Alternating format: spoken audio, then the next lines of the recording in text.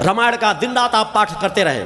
अगर रामायण से आपने कुछ अपनी जीवन में मर्यादाओं को नहीं ढाला, अगर गीता से कर्म पक्ष आपके अंदर जागृत नहीं हुआ तो गीता और रामायण पढ़ने का क्या फ़ायदा?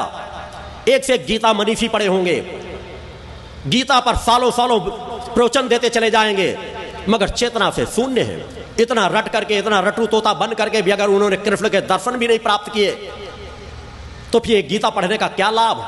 एक आम समाज के लिए तो माना जा सकता है। मगर जो अपने आप को धर्म प्रमुख कह रहे हो, गीता मनीषी कह रहे हो, उन्होंने अगर अपने प्रभु के चरणों के रजकणों का पान नहीं किया, उनका दर्शन नहीं प्राप्त किया तो धिक्कार है ऐसे गीता मनीषियों को, धिक्कार है ऐसे रामायणियों को।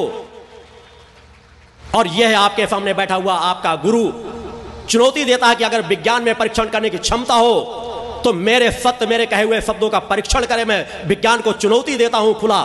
कि मैंने अपनी प्रकट सत्ता के दर्शन प्राप्त किए हैं। मैं अपनी प्रकट सत्ता के जब जहाँ चाहता हूँ दर्शन प्राप्त कर सकता हूँ वार्तालाप कर सकता हूँ उनके चरणों का मैंने इन्हीं हाथों से स्पर्श किया है। बोलो गुरुदेव भगवान की जय। मेरा पूर्व जीवन क्या है यह मैंने बतलाया है कि मैं सच्चिदानंद का स्वरूप हूँ अवतार हूँ इस रूप में जो शक्ति पुत्र के रूप में समाज के बीच कार्य कर रहा हूँ। मगर इस जीवन में मैंने साधनाओं का इस जीवन पे ही उपार्जित किया है और इस जीवन की उपार्जित साधनाओं को ही समाज में उपयोग कर रहा हूँ।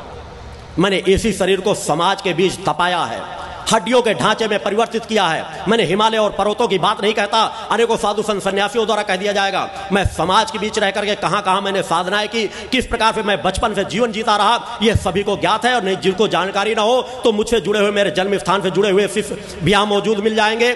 मेरे बड़े भाई जो बड़े भाई कहलाते थे, वो आज मेरे शिष्य बने हुए हैं। चूँकि मेरे जीवन की बचपन से यात्रा को उन्होंने देखा है, समझा जाना है, पहचाना है। सत्य को जानने के लिए सत्य की निगाहें होना चाहिए। मगर सत्य की निगाहें इसलिए नहीं आएँगी कि आपने बचपन से धैर्य और धर्म को धारण ही नहीं किया।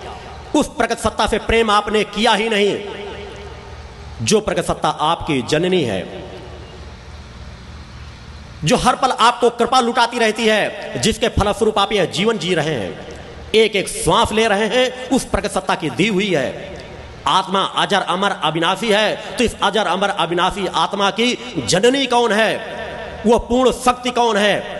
इसको जब तक समाज जानने के लिए लालायित नहीं होगा, उसके अंदर तड़प नहीं पैदा होगी, तब तक वो सतमार्ग में चल नहीं सकेगा।